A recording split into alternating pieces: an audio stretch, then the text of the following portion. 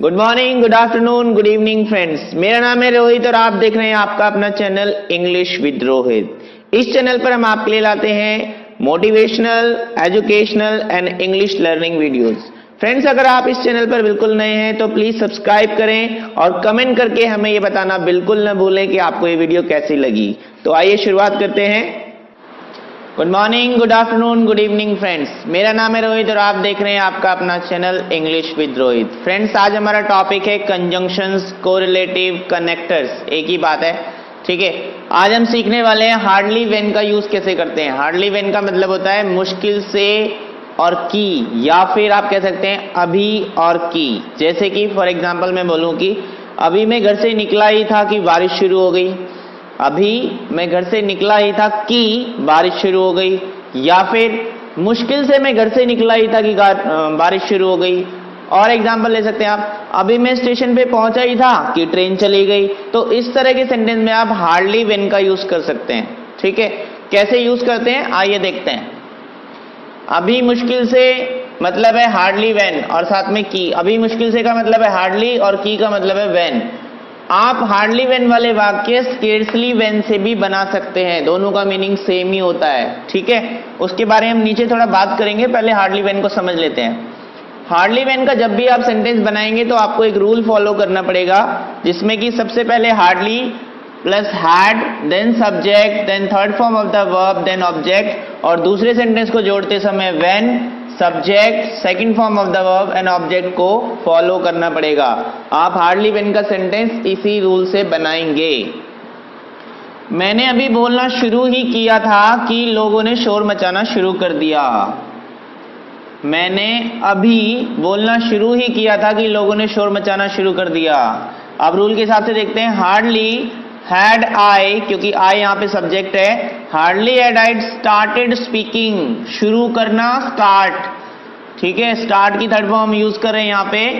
Hardly had I started speaking देखिए start एक ऐसी वर्ब है जिसके बाद जब भी कोई नेक्स्ट वर्ब कनेक्ट होती है तो उसके साथ हम आई लगाते हैं। तो इसलिए यहाँ पर स्पीकिंग है। Hardly had I started speaking की, यानी कि when people started making a noise लोगों ने शोर मचाना शुरू कर दिया। Started making a noise making a noise मतलब शोर मचाना। ठीक है? नेक्स्ट एग्ज़ाम्पल देखते हैं। मुश्किल से मैं घर से निकला ही था। मुश्किल से कह लो या अभी कह लो बात एक ही है। मुश्किल से मैं घर से निकला ही था कि बारिश शुरू हो गई। मुश्किल से मैं घर से निकला ही था कि बारिश शुरू हो गई। Hardly had I left the home hardly had I left the home when it started rain कि बारिश शुरू हो गई व्हेन का यूज़ हम यहाँ पर की के लिए कर रहे हैं। एक बात का आपको ध्यान रखना है हार्डली के बाद हैड आएगा, कभी भी सब्जेक्ट मत लगा देना कि hardly I had left the home आपका सेंटेंस गलत हो जाएगा। हार्डली की ये कंडीशन है कि हार्डली के बाद आपको सीधा हेल्पिंग वर्ब हैड का यूज़ करना होता है, ठीक है? तो hardly had I left the home when it started rain हमारा नेक्स्ट एग्जांपल देखते हैं। अभी मैं घर से निकला ही था कि मेरी साइकिल एक वृक्ष से टकरा गई या पेड़ से टकरा गई। इसे हमने स्केर्सली से बनाया है क्योंकि मैंने आपको बोला कि हार्डली की जगह हम स्केर्सली भी यूज़ कर सकते हैं तो हमने एक एग्जांपल स्केर्सली का भी लिया है।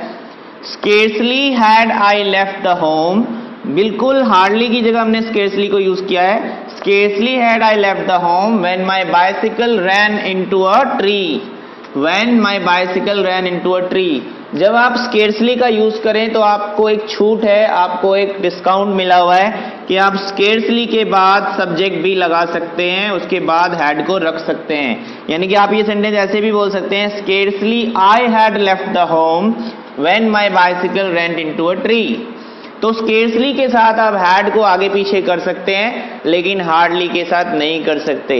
सो आई होप कि आपको हार्डली वैन अच्छे से समझ में आ गया होगा। मिलते हैं फिर नेक्स्ट वीडियो में। हाँ लेकिन एक बात का ध्यान रखें। मैंने यहाँ पर बहुत इजीली दो तीन सेंटेंस देकर आपको समझाता हूँ। अगर आप दो तीन सेंटेंस की प्रैक्टिस करेंगे तो आपके चांसेस हैं कि आप आगे जाके इन चीज़ों को भूल जाएँगे।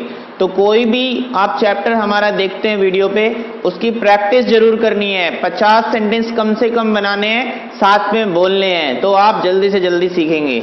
चलिए मिलते हैं फिर नेक्स्ट वीडियो में। तब तक के लिए बाय तो दोस्तों सब्सक्राइब करें शेयर करें इस वीडियो को अपने दोस्तों के साथ, ताकि वो भी इस वीडियो से फ़ायदा उठा सकें। और नीचे कमेंट करके हमें ज़रूर बताएँ कि वीडियो आपको कैसी लगी। ताकि हम और मेहनत करें, और बेटर वीडियोस आपके लिए लाते रहें। तो आज के लिए बस इतना ही। मिलते हैं एक नई वीडियो में, नई एनर्जी और नई जोश के साथ। Thanks for watching bye